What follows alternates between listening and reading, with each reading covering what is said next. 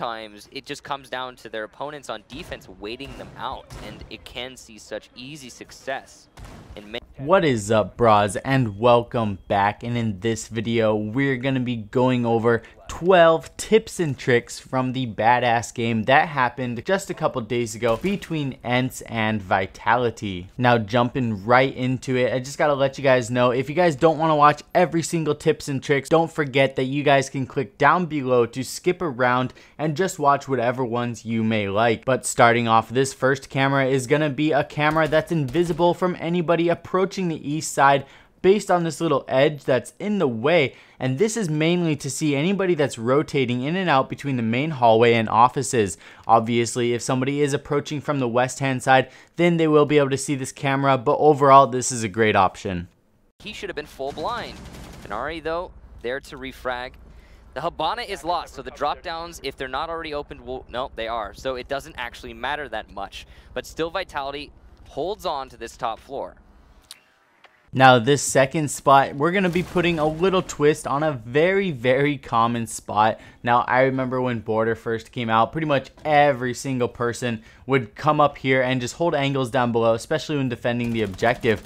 But what I have never personally used it for, and what I have never been killed from, is somebody actually standing on top of the lockers, but then holding an angle up inside of the armory lockers. So I thought that was pretty clever. And one other little twist that you guys could do is you could actually break a couple pieces of the floorboard right here, and you could hold an angle up into the doorway at head level through the floor so then you wouldn't even be exposed from the hatch. So I thought that was a really, really clever twist put on this spot. I'm definitely going to be using this one. I have a feeling it's going to throw a lot of people off.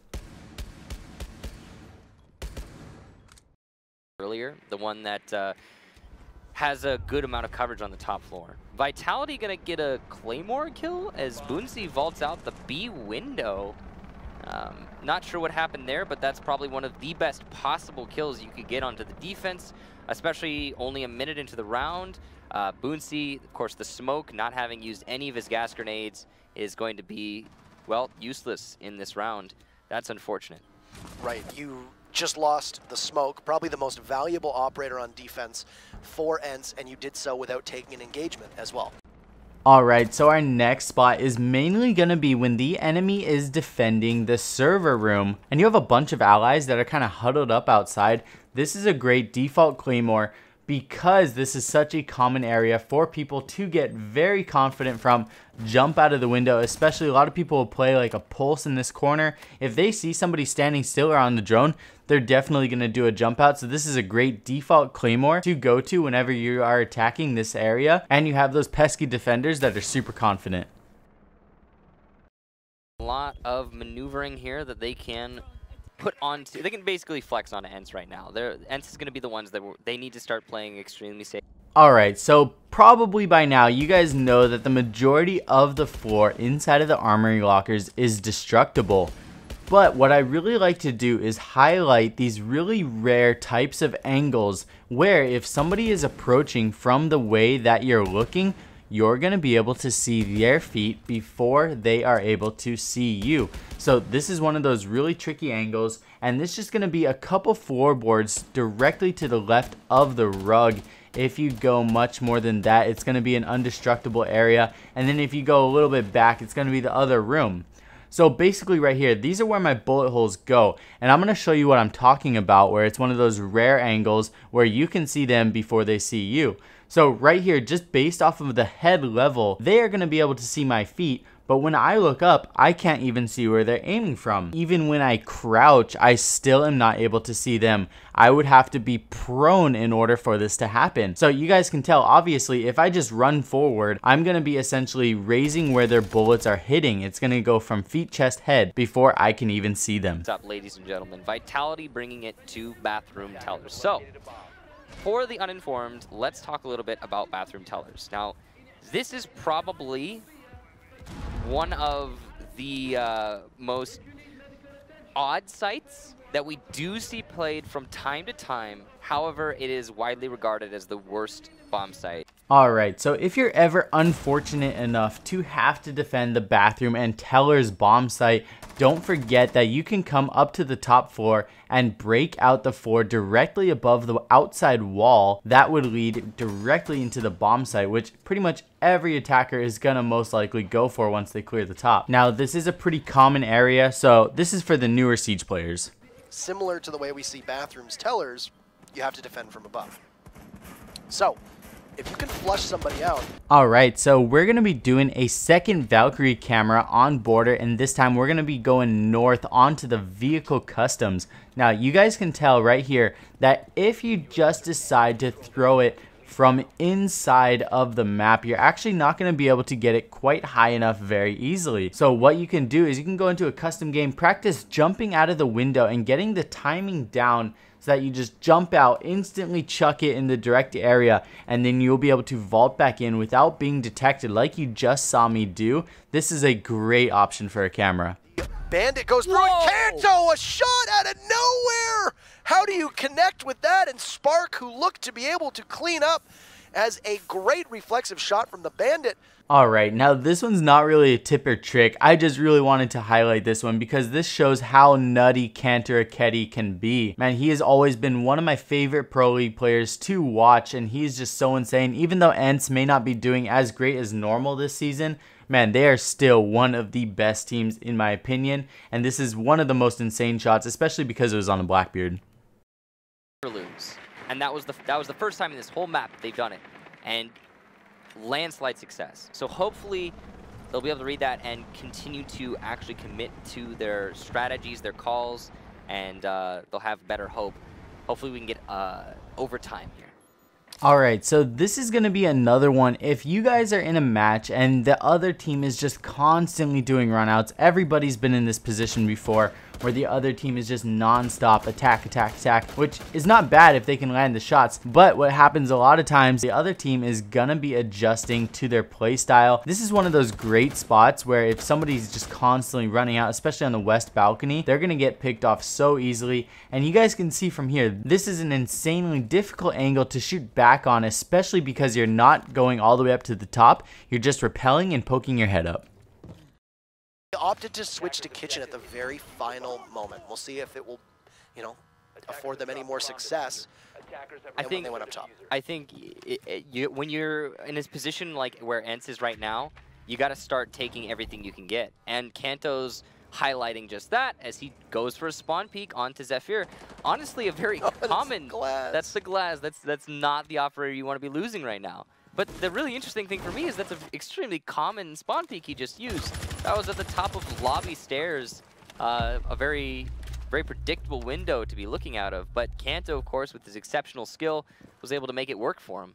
Alright, now this is a spot that we literally just did in the previous Pro League tips and tricks video. Now, you guys know that I try not to ever put a duplicate tip inside the Pro League tips, but I have to highlight this because you guys really need to watch out for this insanely common spawn peek that works constantly. And the reason it's so popular too is it's one of those rare angles again where if the attacker is approaching, the defender is gonna see your feet before the attacker sees them. So from right here, you can see I'm standing crouching where the bullet holes go. I still can't see. I have to lie all the way down. So the last time we saw this spawn kill, it worked further north where the guy died by the Lamborghini. This one's further south. So no matter where you come running from, from the main entrance, you're going to be vulnerable. So you definitely got to watch out for this one because it is such a strong angle, even though so many people use it.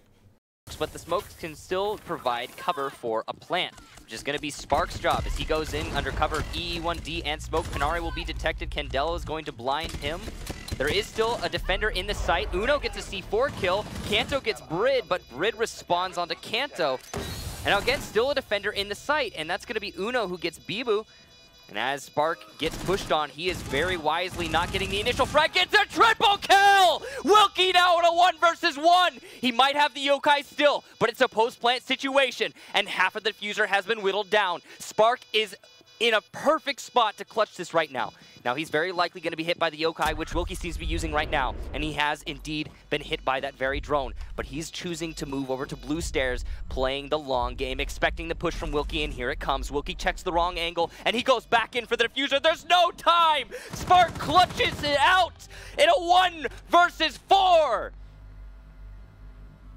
Oh my. And that is, we just saw firsthand why you wait. When you're in that position to strike and you hesitate for that moment, you have two real options.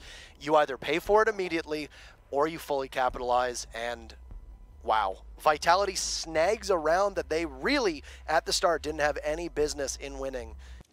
Alright, now this is one little detail that makes Siege so tricky. Just a simple little vault up onto the counter can throw an entire badass team off so much. And this is such a great defuser spot. This is one of the spots that was to make it inside of my defuser only video for defuser spots. So be on the lookout for that video in the near future. With this spot, we saw a 1v4 clutch just based off of not checking a very simple corner standing on top of a counter. And don't forget, if you can get the bomb planted up here, this entire floor destructible. So if somebody vaults up or is next to it in order to defuse it, they're to get taken out so easily. Now, in the next tip, we're to be going over this same spot that you can use it yet again.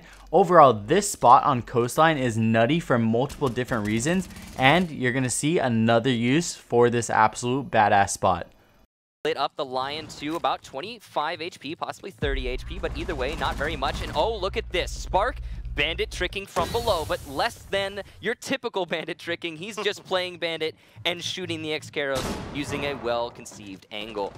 Alright, now this angle from the same spot is going to help us defend the wall that goes into Penthouse, which almost every single team is going to be going for with either a Hibana or a Thermite. What we saw was a Bandit being played, but I was thinking, man, if somebody was a Pulse down here, you could absolutely wreak havoc on the attacking team. We would be able to Nitrocell or Shotgun them so easily while they place it so basically this hole right here is to go straight up into the VIP lounge next to that circle couch and we can protect this wall so easily. Now, what we saw in the previous clip was Bandit shooting out the Hibana charges, which saved this wall, which is an excellent play. And one other final little tip that we can do, this little spot right here inside of the second floor hallway, if you get the defuser down that I didn't mention in the previous video, you can stand in the hallway so that you're not susceptible to any C4s or anything. That 4 is not destructible and you can put a hole inside of the wall and watch down onto the bomb